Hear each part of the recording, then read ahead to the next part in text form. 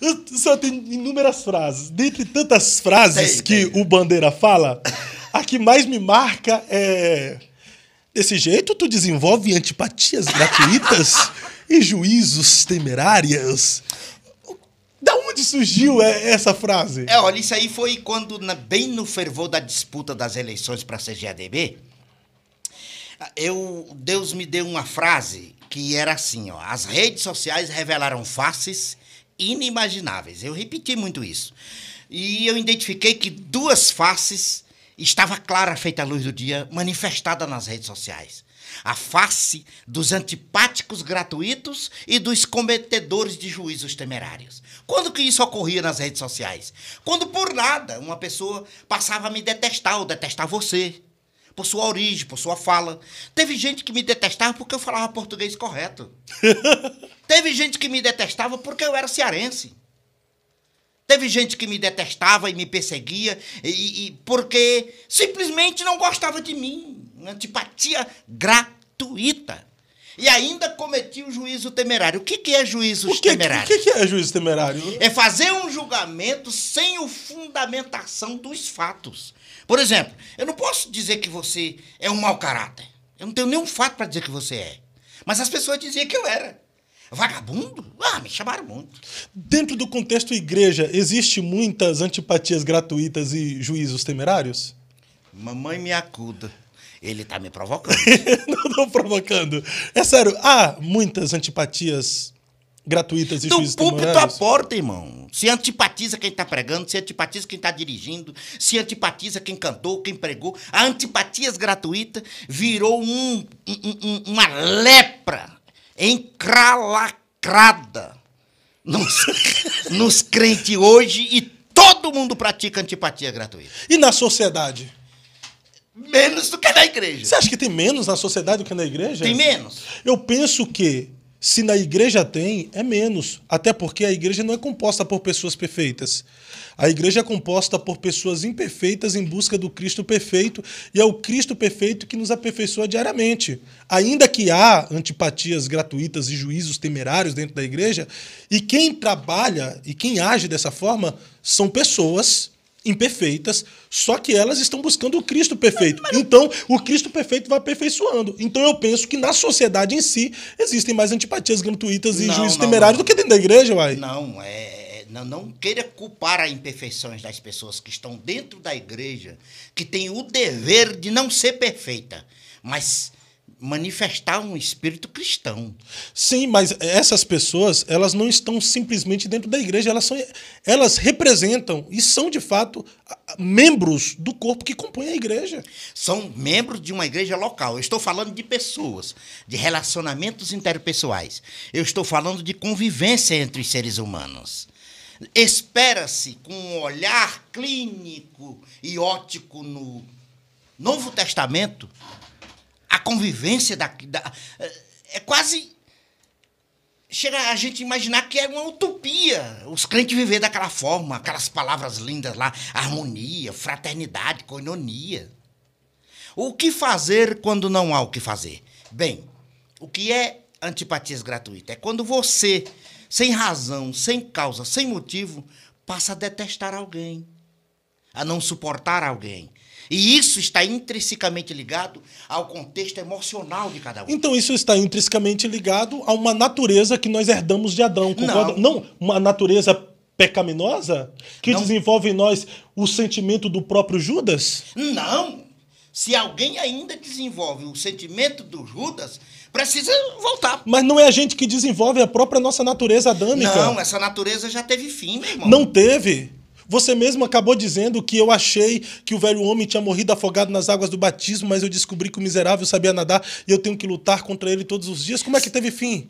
Teve fim. Ela foi submetida pela graça de Deus, mas ainda está aí.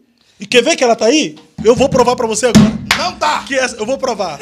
eu vou provar. A gente mostra essa natureza que nós batalhamos contra ela através da tua vida. Existe o Antônio Sérgio Queiroz, que vem, destrincha um texto bíblico, teológico, exegético, hermenêutico, aí de repente aparece o Bandeira. xingando. Entendeu? Tá ou não tá? Não tá, não tá. É o seguinte: o que eu estou dizendo faz parte de uma matéria acadêmica de psiquiatria e psicologia que trata das questões relacional e do emocional, que inclui maturidade e imaturidade. Clareou? A maturidade e a imaturidade pode ser um estado de espírito, ou seja, ninguém está maduro 100% o tempo todo. Por isso que ninguém está santinho e bonzinho dentro da igreja o tempo todo. Todos nós temos picos de bondade, de maldade, de malícia. Não, mas eu penso. E de onde penso, vem isso? Quem funciona isso? De forma bíblica agora, sem ir para psicologia, sem ir para psicologia, certo? Enquanto nós estivermos nesse corpo, nós estamos em um corpo cor corruptível. Corruptível. Então essa natureza só será eliminada quando esse corpo se revestir da incorruptibilidade. Se revestir da incorruptibilidade com Cristo nós vivemos a eternidade. Então enquanto nós estivermos aqui, Gálatas vai dizer o quê? Que nós estamos em guerra, a guerra da carne contra o espírito e do espírito contra a carne. Sem dúvida, mas voltando à questão do, do, Você quer falar de velho homem, novo homem, velha natureza e nova natureza. E eu quero falar de não, a, emocional. Não, não, a pergunta, não, a pergunta anterior foi essa. Dentro da igreja, contexto da igreja, existe antipatias gratuitas claro. e E aí eu, eu falei que na sociedade, aí você disse que na igreja tem mais do que na sociedade. E eu estou tentando te mostrar que na igreja deve ter menos. Porque. Aquele, porque aqueles que estão na igreja estão lutando para mudar. Fala a verdade, algum comportamento que o senhor já teve nas redes sociais não como o Antônio Sérgio Queiroz, e sim como Bandeira, o senhor não se arrependeu depois? Lógico. Por quê? Porque o senhor quer melhorar, sim ou não? Eu me arrependi Por... porque, eu me arrependi porque sou cristão, porque sou salvo. É isso que eu tô falando. Olha aí. Tei! É disso que eu tô falando. Sou inteligente. sim! Melhor do mundo, receba! Solta o áudio do Pastor Bandeira aí. Solta uns áudios meu aí. e ainda bem que com consciência voltei ao estado normal e não permaneci na loucura. Sim. Agora, os que permanecem na loucura, com ódio, rancor, mágoa, antipatias gratuitas, perseguição, futricação, deve ter um fim. Eu não entendo. Porque, porque, porque eu, eu levei para esse lado.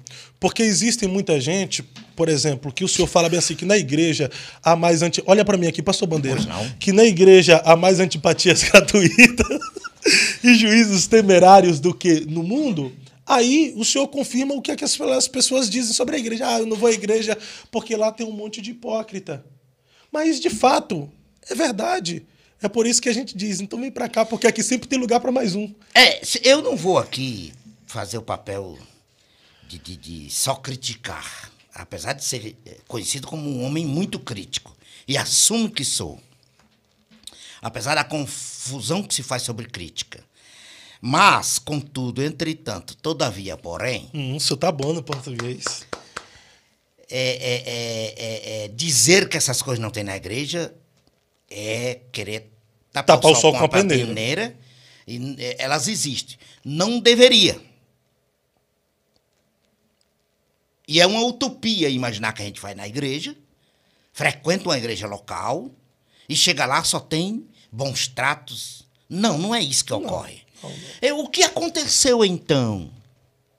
Como corrigir? O que fazer quando não há o que fazer? Não tem o que fazer, porque cada pessoa hoje tem sua ideologia, tem sua forma. Me representa, como eu digo nas redes sociais, meu nobre Fábio Santos. Me representa que a Bíblia que eu leio, que eu estudo, que eu interpreto e que eu entendo, não é a que você lê, que você interpreta, que você entende. Quando deveria ser. Nós deveríamos convergir. Convergir para determinados temas bíblicos e teológicos, principalmente os doutrinários. Concordo com o senhor. Aí, aí é, é, o que preocupa um pensador como Bandeira é o seguinte: o que fazer quando não há o que fazer? Se cada um tem um Deus que parece que não é o mesmo Deus. Cada um, pensador um... cada um tem um Deus que parece que não é o mesmo Deus de cada um. Cada um tem uma Bíblia e lê uma Bíblia que parece que não é a mesma Bíblia de, que todos têm, que todos lê. Cada um frequenta a mesma igreja, toma, come o mesmo pão e toma o mesmo vinho ou suco de uva, que parece que não é o mesmo que o outro, porque não causa efeito de ninguém. Ou em quase ninguém. Mas vale a pena ressaltar aqui que, de fato, a igreja de Cristo ela é perfeita. Sim, a noiva o organismo do Cordeiro vivo, sim. é perfeita. O organismo vivo. É claro que igreja, como organização, tem as suas imperfeições. Mas ainda assim, pastor Bandeira, vale a pena a gente ressaltar isso, é o melhor lugar para se estar e é o melhor lugar para se viver. Eu não quero deixar aqui a imagem de que eu sou um crítico azedo e ferrenho e de que não vale a pena. Claro que não. A instituição desenvolve o seu papel tríplice na sociedade. Ela tem um papel fundamental na sociedade, a igreja institucional, a igreja organizacional. Ela nas ações sociais, nas ações evangelísticas, nas terapias e nas orientações dos seus membros para melhorar como seres humanos, como pessoas. A igreja tem uma missão integral, a igreja institucional. E ela é composta por esse organismo vivo, oriundo de diversas pessoas de diversas culturas, diversos caráteres e personalidades, culturas, raízes e etimologias diferentes. Aí, a beleza do evangelho. Não quero deixar a imagem de que eu sou um perseguidor, um, um crítico. Tu não é. A beleza do evangelho é que ele pega um baiano como você, muda a sua vida, a sua mentalidade, acontece a metanoia, pega um cearense como eu, através da fé salvífica em Cristo Jesus, depois que ouvimos, e nos faz irmãos. É isso aí.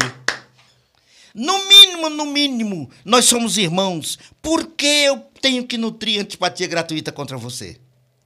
Se somos irmãos, somos membros do corpo. É uma pergunta, querido internauta que está nos ouvindo, que eu não tenho resposta. Pastor, eu, eu, é difícil de responder e tenho, isso. E mas, tenho. Eu, mas eu vou falar, eu, eu, eu vou dar uma opinião. É que nós somos seres humanos.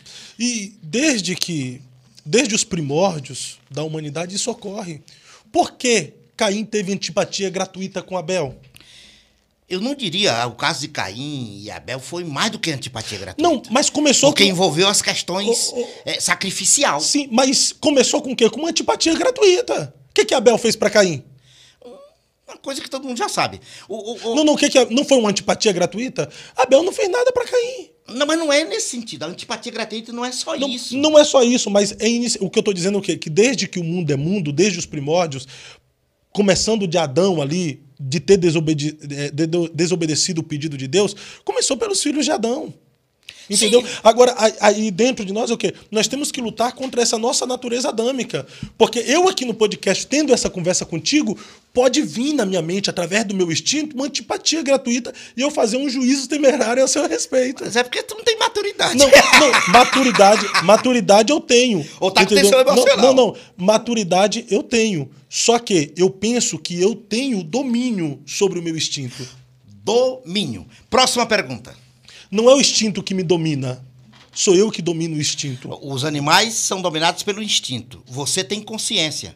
E isso. Todos que praticam antipatias gratuitas e juízos temerários, a consciência é belisca que ele fez algo errado. Perfeito, pastor Bandeira. Pastor Bandeira, o senhor falou recentemente Não aí que o senhor- provoca, não, porque seu teto é de vidro.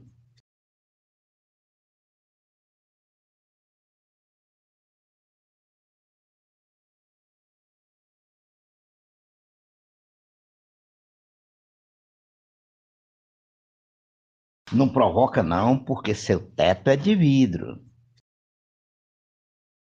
Para, bobão.